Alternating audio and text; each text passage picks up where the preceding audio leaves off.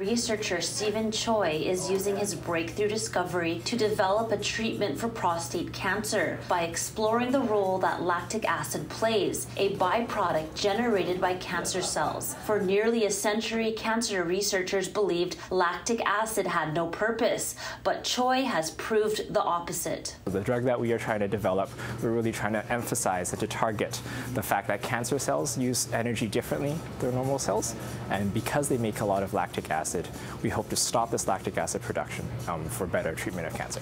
Choi says his breakthrough is not limited to only prostate cancer, but will also help treat liver, lung, and breast cancers. We find lactic acid has a huge impact on stopping a patient's immune cells from attacking their own cancer and their own tumor. Choi is using a unique computer-based drug discovery platform that can screen billions of chemical molecules to determine which ones are most effective at stopping lactic acid generation. One of the major benefits that we think is going to be part of this treatment is that we will be able to restore a patient's own immune system and have the patient's immune system attack the cancer as well. Choi's research is still in the early stages, but his team is hoping to have an effective therapeutic strategy for patients battling cancer.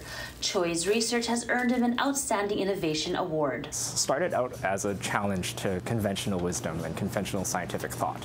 And so to be able to take sort of that initial difference in, in, in innovative thought and to come to this place of being recognized uh, nationally for it is, is a huge honor.